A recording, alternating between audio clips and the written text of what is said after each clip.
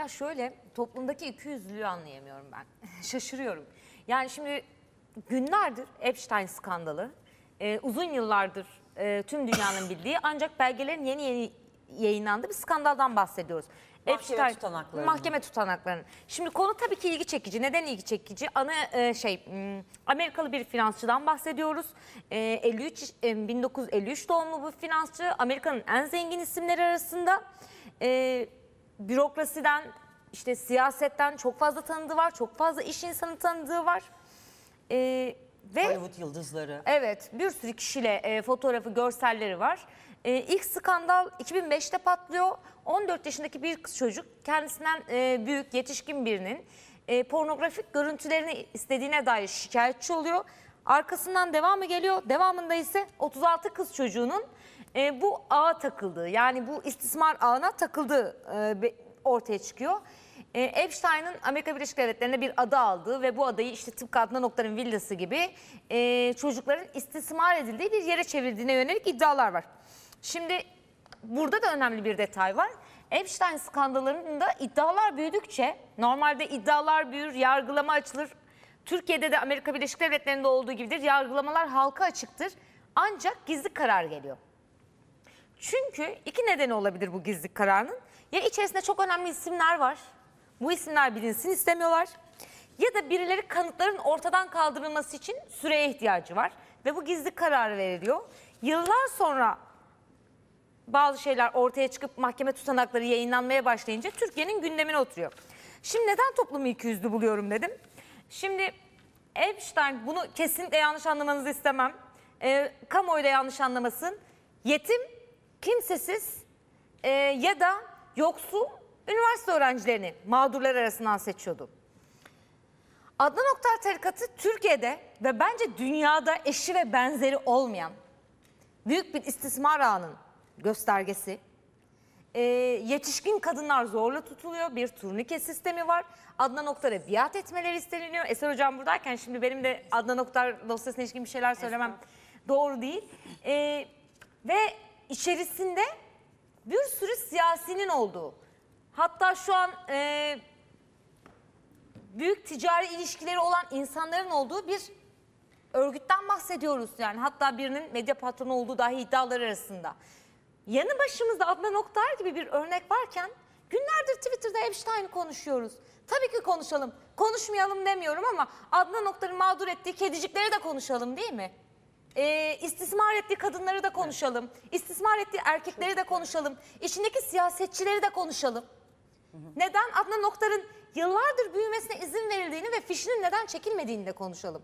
Bu yüzden ikiyüzlü diyorum.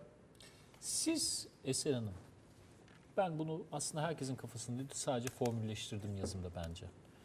Siz Epstein ve Adnan Oktar düzenini karşılaştırdığınız zaman hangi benzerlikleri, hangi farklılıkları görüyorsunuz? Bir de sizin hani davanın içinde olan birisi olarak siz bak yorumlar mısınız? Tabii ki. Şöyle ki öncelikle bir şeye açıklık getirmek istiyorum. Adnan Oktar grubu Oktar grubu değil artık kesinleşmiş bir mahkeme kararıyla Adnan Oktar silahlı suç örgütü.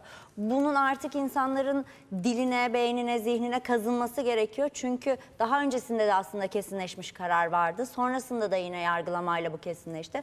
Adnan Oktar silahlı suç örgütü. Artık Adnan Oktar cemaati, Adnan Hoca, Adnan Oktar tarikatı grubu ifadeleri biraz daha dilimizden uzaklaşması gerekiyor bence. Ee, kesinlikle çok fazla benzer durumları var. Kasetler var. Biraz önce Turan Bey'in söylediği kasetler kesinlikle var. Bu kasetlerin hepsi aslında e, ele geçirilecekti. Ancak örgüt daha öncesinde, e, operasyon öncesinde tabii ki siyasi bağlantıları ve adliyedeki ayaklarıyla e, buna haberdar oldukları için bunlar dosyadaki kayıtlarda, tapelerde de var operasyonlara haberdar oldukları, gizli dosyayı, soruşturma dosyasını incelemek istedikleri vesaire. E, bundan haberdar oldukları için zaten bu kasetlerin tamamı yurt dışına kaçırıldı, silindi, edildi. Yine operasyon aşamasında zaten operasyon sırasında o an çekilen kamera görüntüleri, flash bellekler de zarar görülerek incelenmez hale getirildi. Dolayısıyla örgüt aslında var olan kasetleri, tüm kamera görüntülerini bu şekilde ortadan kaldırmak için elinden geleni yaptı. Ama el yazılı notlarda çekilen kasetlere ilişkin notlar var. Ee, zorla tutulan kadınların, örgüt üyesi kadınların yine bunlarla ilgili yapmış olduğu yazışmalar vesaire var. Dolayısıyla aslında bu kasetlerde örgütte var. Ee, benzerlikten biraz önce bahsedilen 13-14 yaşında kız çocuğu gidiyor ilk başta şikayetçi oluyor kısmı. Aslında Adnan Oktar Silahlı Suç Örgütü dosyasında da buna benzer bir durum var.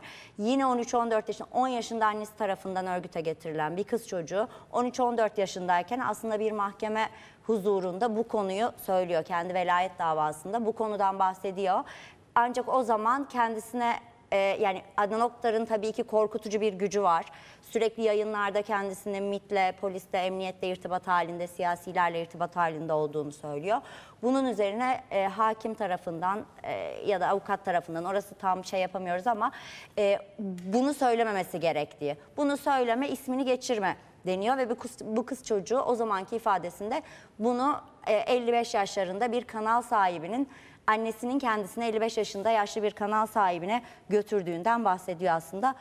Yine aynı şekilde bu dosyada da e, Epstein'de olduğu gibi çok fazla sayıda yaşı küçük mağdur var.